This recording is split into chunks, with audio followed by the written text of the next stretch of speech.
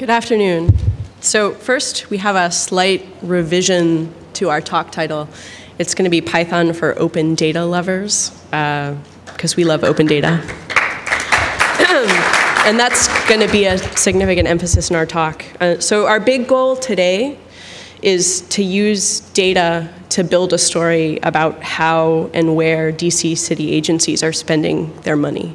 Um, and as part of that process, we're going to show you several different Python libraries and Python-based tools and other open source tools for analysis. But first, we want to tell you a little bit about us. So Jackie. so my name is Jackie. Um, during the day, I work for uh, CACI at the Library of Congress. And uh, at night, um, that was me having fun at PyCon with Zane. Um, and uh, uh, at night, I, um, I'm doing some graduate studies at George Mason, and uh, I help run uh, Django District. This was our last meetup. It's my little plug to come uh, to DjangoCon DC, because that's how we do Django in DC.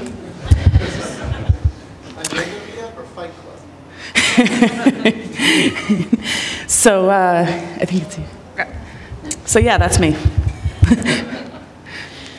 so I'm a geographer based in Philadelphia. I make maps and analyze data for a living, mostly for non-profit clients. Um, this is one particular map where I looked at poverty in Philadelphia and uh, locations of childcare facilities. Uh, I wrangle open data all the time in its many forms, and I use lots of different tools to do this, and I'm kind of agnostic about that. Um, I use mostly open source, sometimes Python, but not always. Um, I also organize Intro to Python workshops uh, through the Philadelphia Python Users Group, and we really relied a lot on the Boston Python workshop folks and the PyLadies to help us get started. And uh, it's really nice that several of our workshop instructors and students are here at PyCon thanks to PyLadies and the PSF. Um, so that's something that I'm really proud of.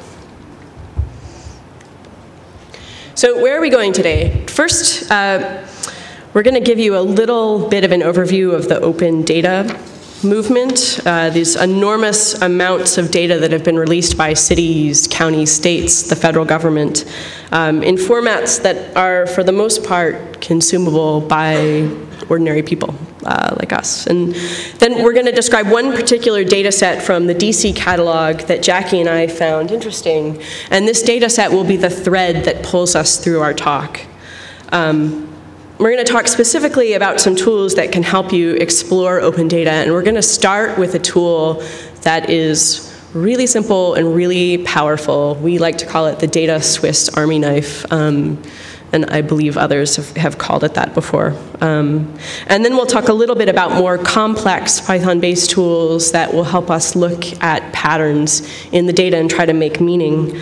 Um, and at the end of the talk, we're going to discuss some steps for how you might go from a data analysis to actually building a story that you could share with users and readers in many different forms. Okay, so I, am not going to provide a full overview of all open uh, data initiatives, but let's suffice it to say that there's been an explosion of data in the last few years uh, in this civic sphere. And it's sort of a party out there of liberating data, connecting data, gold starring data, tweeting about data, blogging about data, hacking on data if you read the language on some of these sites. And these are just some examples of different city data portals. Um, some cities do it better than others, but uh, you know, there's been a lot of exciting development in, in just the past couple of years. Um, and so a lot of the sites organize their offerings in many different ways by file type, but a standard way of presenting it to lay people is data from A to Z. And so I've pulled a smattering of selections from all these different city data sites. Um, and when I see this list, I see potential stories. And because I'm a geographer, I look at this list and I think about maps. Um, and in fact, many of the data sets on this list um, have been in the news. For example, assembly member expenses is from the London data store. Um, that was in the news. People were spending money on things they shouldn't have, and I think some of them actually got fired when The Guardian started writing about it. Um, in Philly, the um, transit data has become quite a, quite a thing, and there's a lot of momentum about, around building mobile apps for SEPTA, our regional transit authority. Um, uh, in, I spent a lot of time in my past job looking at political districts and measuring compactness and trying to come up with measures for gerrymandering. And all of that is open data. Uh, I have some colleagues who look at violent crime incidents in any number of cities. Um, so that last data set, I, I couldn't come up with an X, so I gave you an extra R um, real-time parking availability and pricing. It's actually an API uh, from the uh, San Francisco data, and that is, I think, one of the most amazing creations from open data, and every city should have something like that. So our focus today is on the DC data catalog, uh, and Jackie and I decided to pull data sets from this site to be the focus of our presentation today. Um, this particular site was launched during the Adrian Fenty administration, and the city got a lot of kudos for doing it right. And one open data advocate said it wasn't just the breadth of data on the site, it was that DC seemed to have integrated the principles of open data into its very DNA. So um, the offerings here are really extensive and, and pretty impressive. It might not be the easiest site to navigate, but, um, but there's a tremendous amount of data here. Um, just as a, as a, side note, um, when Vince Gray came into office, uh, he closed off a portion of the city data catalog that was at one time readily available. Um, and there's a great blog post about this from the Open Knowledge Foundation if you're interested in reading it. Um, it basically had to do with uh, data on registered businesses in the city. so let's take a little bit of a look at our study area here just to orient you. Um, most of you probably know that DC is really nestled in between Maryland and Virginia. So any look at the business landscape in DC uh, is going to have to take these two other states into account.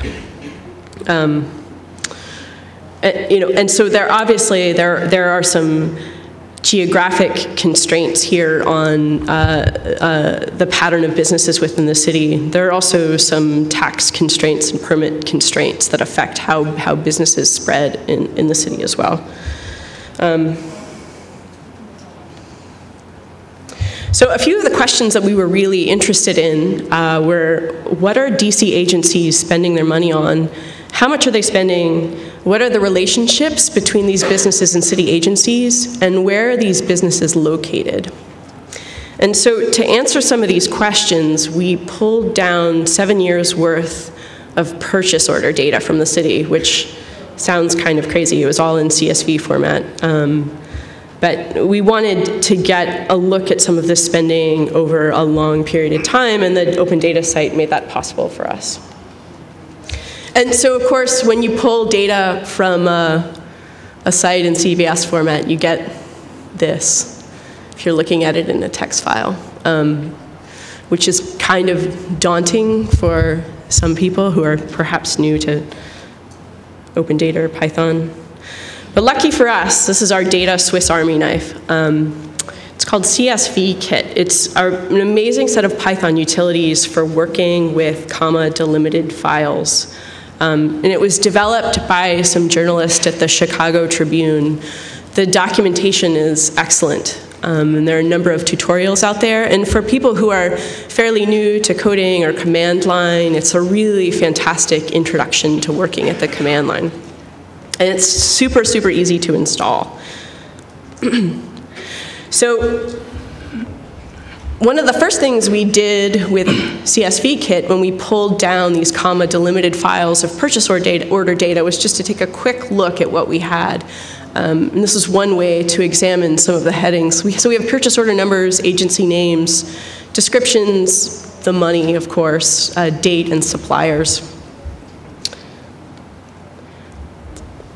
You can also uh, cut the, some of the data and get some basic summary statistics. So here we're summarizing on uh, uh, number of agencies, number of suppliers, um, and the groups within both of those camps that have had the most transactions, and, and this is just 2011. Um, so you can also, uh, if you have want to look for something in the data, you can uh, uh, use a little bit of regular expressions in with CSV Kit. In this particular case, we are focusing on how many different transactions there were with the Maya Angelou Charter School.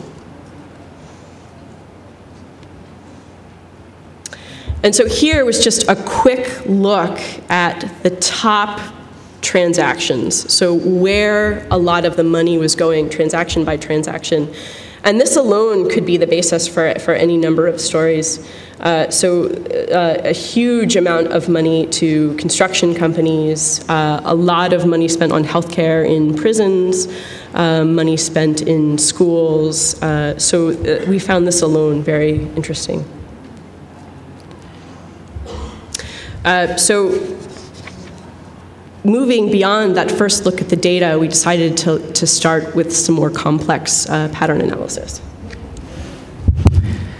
So the uh, International Network for Social Network Analysis uh, describes social network analysis on their website as uh, social network analysis is focused on uncovering the pattern of people's interaction. Um, you know, it's, it, it's really hard to describe uh, social network analysis in a few minutes, so I want to try to do this by uh, example. So um, this was a social network analysis project on uh, congressional votes um, that I had done um, a, a, year ago or something. Um, so this is uh, looking at how um, Individuals in Congress vote together in the same way. So if they both approve, they get a link. If they both disapprove, they get a link. If they're absent, they're not counted. Um, so this was the 99th House.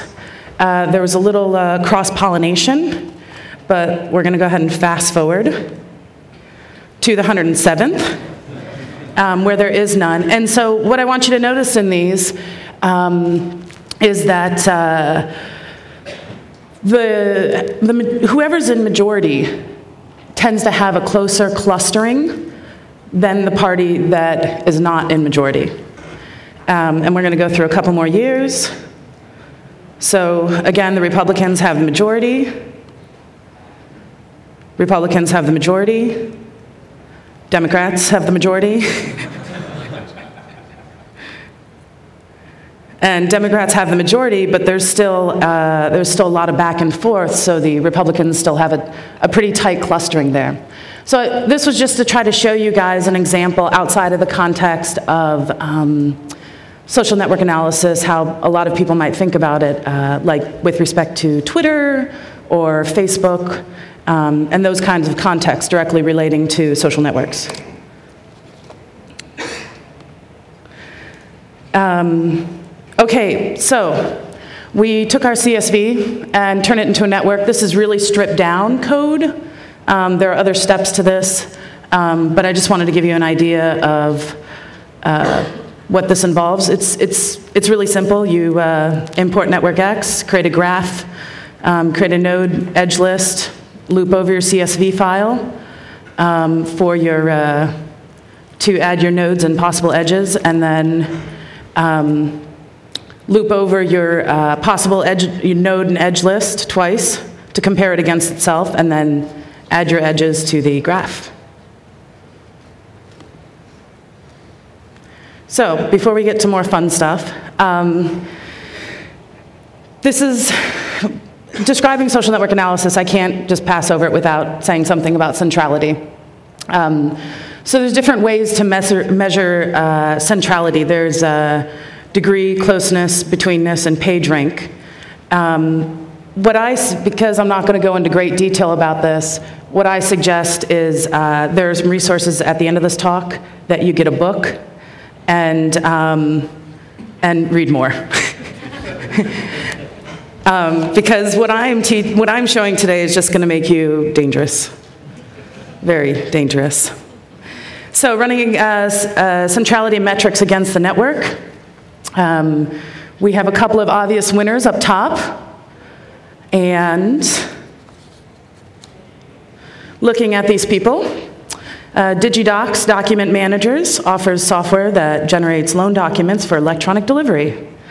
Now, before I continue, let me explain what this means. Um, so we had some of the raw pools of data, which you just query a data set and you can count transactions or count money or count sort of aggregated results. This is showing overlap between agencies. So there are a lot of agencies in DC who use DigiDocs Inc. Um, Iron Mountain provides information management services that help organizations lower costs, risks, and inefficiencies of managing their phys physical and digital data. So uh, a lot of people, a lot of different agencies pay money to, um, to uh, lower inefficiencies. Um, so MSV, uh, MVS Inc. is a consulting, I think technology, yes. Um, MDM Office, uh, office supplies. There were quite a few office supplies on the list. Um, I just want to say I think uh, this is the only one of the ones that I saw that also offers, offers coffee services um, capital services and supplies, uh, just general, uh, general office solutions. Uh, and the bottom two are both, I just want to point out, located in, or the bottom three are all located in Washington, D.C. I didn't include descriptions of the US Postal Service and Dell Co Computer Corporation because I figured most of you guys would know what those were. So, visualizing the network. Um, after you take a look at centrality, what we want to do is try to see what this network looks like. Um, so you run it uh, through, a, you run the graph through a spring layout, which um, sort of uh, pulls nodes that are like alike together. Um, and then plotting the figure, you can change the figure size. Uh, I did 15 by 15 for the purpose of this presentation. Um, and then you're drawing the nodes. And we'll show you what the graph looks like. So it looks like a hairball, which a lot of these graphs do.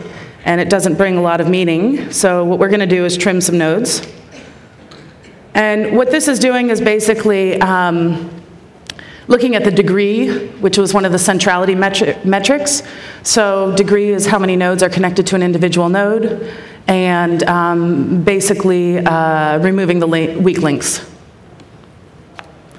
And so this is a, the original degree distribution. Um, it's kind of, uh, kind of power lawish.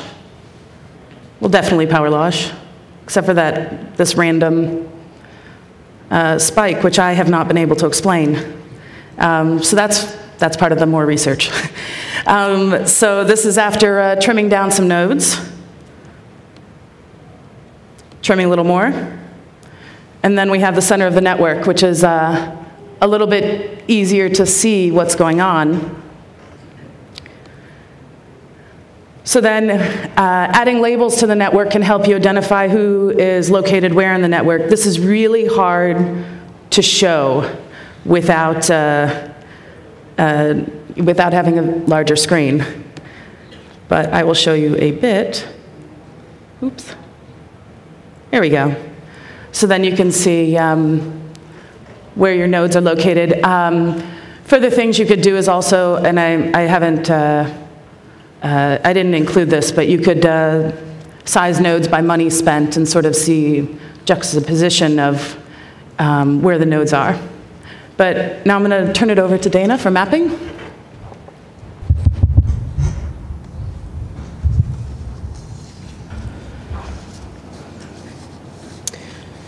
So what Jackie actually just showed you was a special kind of map.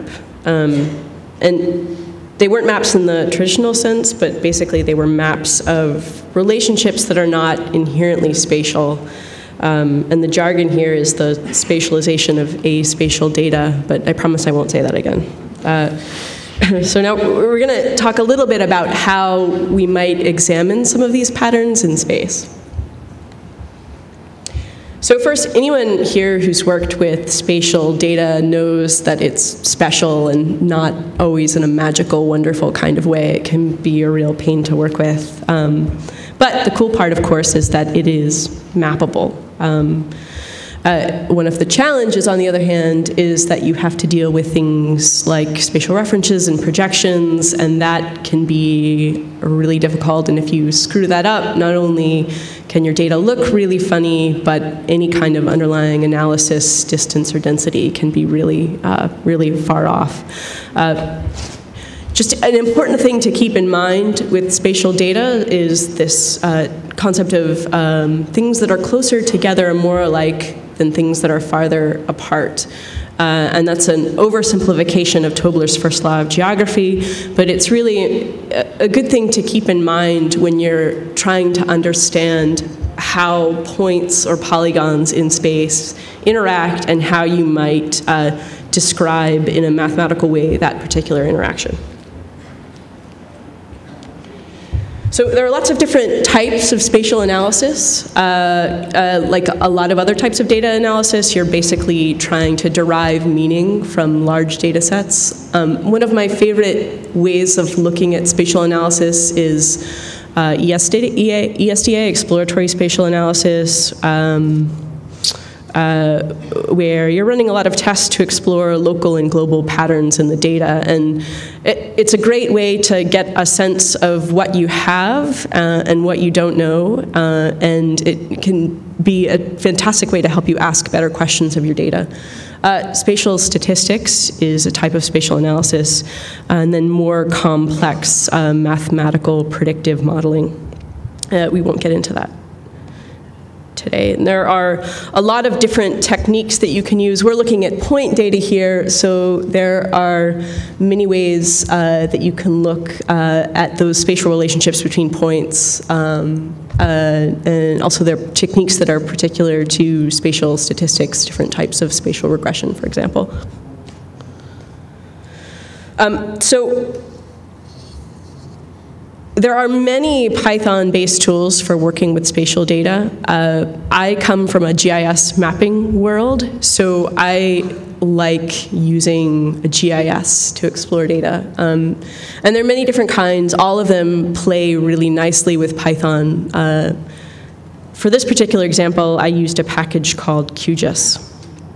Um, so let's back up a little bit and come back to our CSV. So how do we get from this to a map? Um, it's not magic, uh, not even close. Um, and one of the most difficult things about uh, preparing data for a map is the cleaning of it, especially if you're going to be doing any geocoding.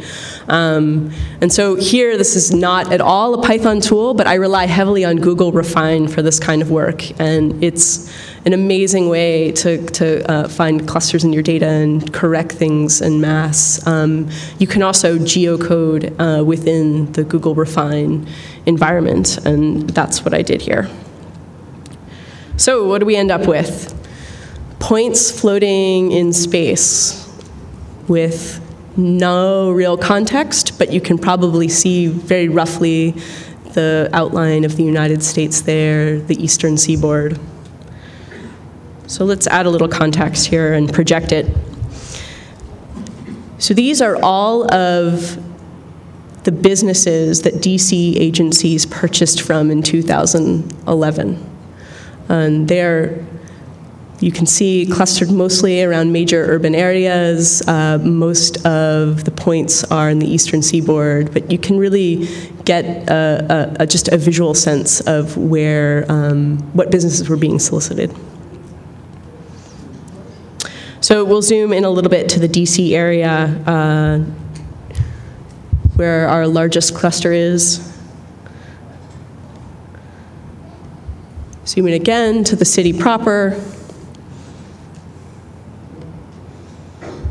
And so here I'm, I'm showing you in large dark gray points where the actual agencies are, and then the polylines are business revitalization corridors. So one question we might ask uh, is the city really trying to buy from businesses on, along these corridors? And that's something that we, we'd like to look at at some point.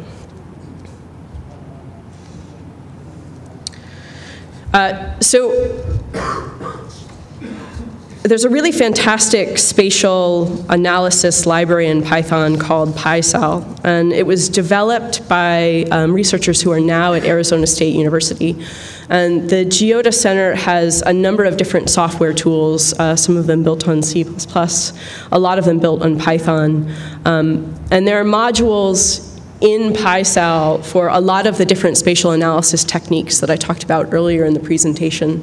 Um, it can be a little complicated to install, um, but it's, it's very powerful. Uh, it's great, in particular, for developers who are looking to incorporate some of those spatial analysis methods in an application. Um, it's pretty good for GIS analysts who want to do some custom scripting, but uh, for the most part, if you're looking for a user-friendly GIS, um, uh, or a user-friendly GUI for this particular set of tools, you might try one of the wrappers uh, that the GeoDa team has created for them. Um, and on the horizon, there's going to be quite a bit of PySal integration in these other GIS packages, um, ArcGIS and QGIS in particular. So this is a schematic of PySal here uh, with all of the different modules and components. Um, and the exploratory spatial data analysis package is, is um, perhaps the most well documented and, and developed. Uh, so if we were to continue using this data set to build uh, a, a, possible story. Um, next steps would be to use some of the PySal tools to quantify some of these clusters uh, in the city and the region and the nation, and in particular to examine clustering along networks and those business corridors in particular. Um, and then a step beyond that would be to create really beautiful interactive maps and charts so that users could go in and explore the data on their own. Um,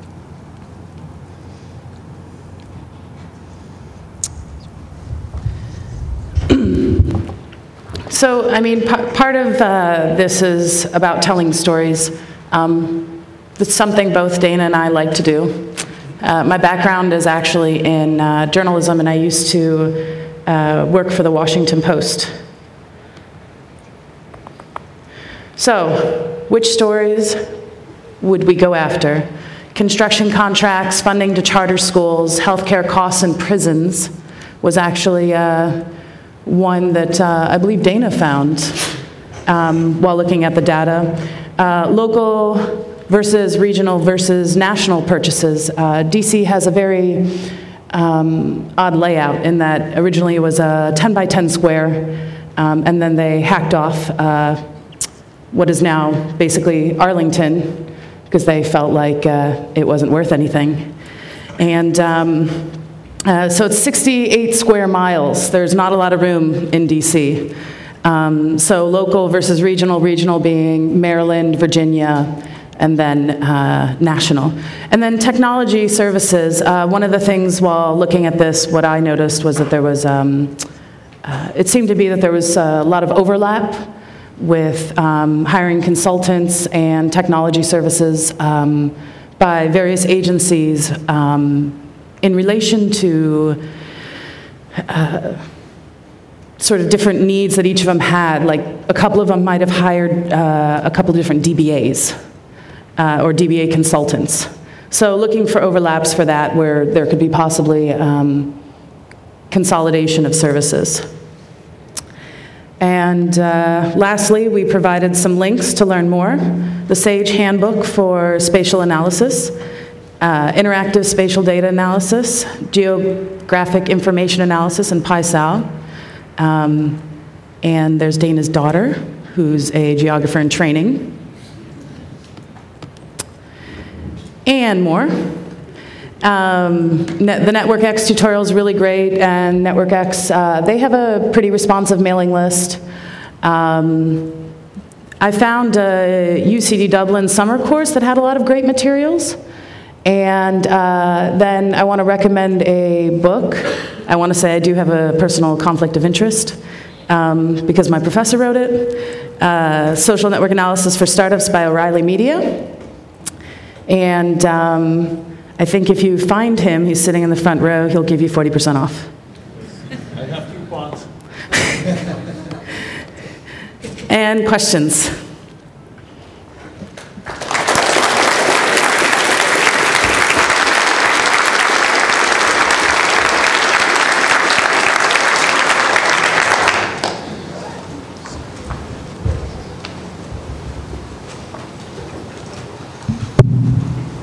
Hi, so you talked about how the DC data set got shut down. I actually lived in DC when that um, political change happened, and I, it was a big deal because people kind of suspected that kind of thing would exactly happen. Um, so what, this is, you know, a diff, you know, outside mapping, but as sort of digital citizens, what can we do to help keep open data open? Or, or who's working on that? Uh, so uh, the Open Knowledge Foundation is, is really a fantastic resource here. They're having a, a huge summit uh, somewhere in Europe early this summer where a lot of different open data advocates from all over the world are meeting to discuss this, just this sort of thing. Um, you know, I think that the the sites are, you know, they're they're there for people to use. Um, and I think most cities that go to the trouble to create those sites want people to make things with the data. And so I guess what I could really just encourage you to do is to make stuff with the data and keep using it, keep asking for more data to be opened up, um, you know, and, and uh, create a need for that, an initiative in your own city around that. Cool. Thank you. I also want to add to what Dana said and say that just because a data set is not available online does not mean you can't uh, gain access to it. Um, sometimes if you're nice and you ask, they'll give it to you. And sometimes um, they'll give it to you in the format you want. Um, and lots of times they won't. And uh, lots of times they'll say that'll be $1,000. Or they'll give you a PDF. Yeah, a PDF. Yeah, they'll give you a PDF. Um, so, you know, it doesn't hurt to ask. Um, lots of times, too, uh, I've heard of uh, people getting data from the government uh, via web scraping. Um, be polite, be nice, identify yourself. Um, and it, it's nice to just ask first. And if that doesn't work, then you can FOIA. and then they will give you Word documents, which they've done to me in the past. So uh, sort of following up on getting in touch with people, one thing that I used to run into when I did this a lot was resistance not to, like, there would be sets of data that were available, but we would still want to talk to the people who were providing that data and knew it best. And they would be really hesitant to talk to us. Like, we did one a couple of years ago when everybody was worried about swine flu. Um, we talked to our state health department, we got their weekly reports, we got the CDC's weekly reports, and they came in sort of with this dismissive attitude toward us of, well, you're not epidemiologists. What would you know about presenting this kind of data? You know, what would you know about analyzing this? Have you ever run into that and, and had any sort of breakthroughs or ways to convince people, yes, we really do know what we're doing and we can, you know, tell compelling stories that won't make you want to tear your hair out? Hmm. Uh, so I, I, I, mean, I've had experiences with um, a city-related agency being really reluctant to release data on green space um, and the turnaround of vacant land because they knew that particular researchers were going to look at the relationship between that green space and crime. You know, and they were a little nervous about how that study might turn out. Um, So I, I, that's been my experience with it. It, it wasn't a concern over the group's ability to analyze the data. It was concern over what the study might reveal. So I, I haven't had any uh, experiences where somebody outright um, sort of denied me data for the sake that they didn't believe I could analyze it or look at it correctly. Well, they didn't deny us the data. The data was published free to the public. They just didn't really, Discuss it with you. yeah, they didn't want to talk to us. They were afraid that we would screw it up. Okay, sure, sure. I mean, hello? Okay, sorry. You're gonna, you're, you're gonna run into it. Um, I ran into it, uh, I think, uh, we ran into it when, when the, uh, when I was at the Washington Post and we worked on uh, Top Secret America. Um, no one's gonna talk to you, or very little people are gonna talk to you. Um, and sometimes, you know, you're trying to add context to sort of the what you found. Um, it's hard. Uh, another way to get around it too is to try to find uh, uh, professionals or academics in the field that are familiar with the data, maybe not necessarily the authority where the data came from, but someone who could speak to the data and offer some insight. So my my experience trying to track down political data is that most data people like to talk to other data people. And so I would find myself on the phone with these other GIS analysts, often trapped in little offices and city agencies who were dying to talk to another GIS person. And it was like 45 minutes of therapy on the phone, how no one understood how hard it was for them to deal with spatial data. Um, but so maybe it's just a matter of finding the right person to talk to.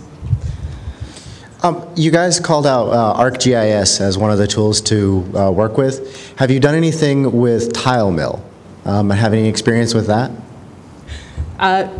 So I, I, I'm fairly new to it. I played with it some in preparation for this presentation. It didn't make it into the presentation because I'm still new with it. But, uh, but yeah, I was really amazed with how quickly I could just start getting maps up there and doing more complicated things with them. So um, I think that, that, that if we were to take this to the next step and turn the analysis into a more developed story that we might share, that would be an amazing tool to use to, to have that interactivity.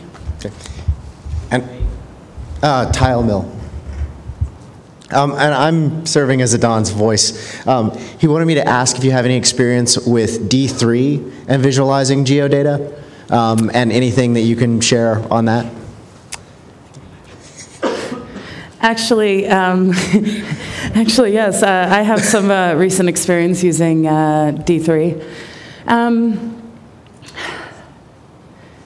there's not uh, D3. Yeah, D3 is pretty awesome. Um, uh, New York Times started using it. Uh, there is there is nothing. I'll, I'll, I'll say that uh, you can kick out maps fast, and you can present stuff fast. Um, but if you're presenting, if you're putting stuff on the web, um, you're going to lose some of the capabilities that you get with uh, like uh, PostGIS and GeoDjango. You know, being able to do spatial analysis, um, because you're going to write a lot more code and uh, it's already you're you're basically going to rewrite what another service already offers. So I mean, I, I would say with D3 and Maps, it's fast. Um, I, actually, I'm in the middle of a project right now using D3 and Maps uh, called Election Gauge, um, which is a uh, comparison of candidates' corpus and um, tweets and looking how different regions, uh, the language people use um, compares to the language of a candidate in different regions. Um, it's in development. New features every week or every other week. Thanks. No problem. One of the really interesting things to do with your um, social mapping data um, for the DC contractors would be to combine it with other publicly available social data, such as who's on whose board of directors and who's married to whom, and who used to work for whom. Um, Have you done any of that? Um, no, no, but that would definitely, uh, could be a definite um, future story. I mean, also looking at job movements and uh, of individuals who work at agencies. Um, LinkedIn, there's a lot of great information Yeah. that you can gather. Um, so yeah, that's that's definitely a future uh, future possibility. Thank you. So you had one data set that seemed to have two different sets of networks. You had both spatial relationships as well as the, um, the network relationships. I was wondering if there was any way that you knew of to integrate a, um, a topology or a network to physical spatial map. Um, Yeah, the, so the GeoDa Center is a great resource for learning more about how that works, and they build tools that would allow you to do that kind of um, spatial analysis along networks. So I would encourage you to, to check out their uh, their website and the documentation of their various tools that are out there now and that are coming out soon. So there are people doing that kind of work. Thanks.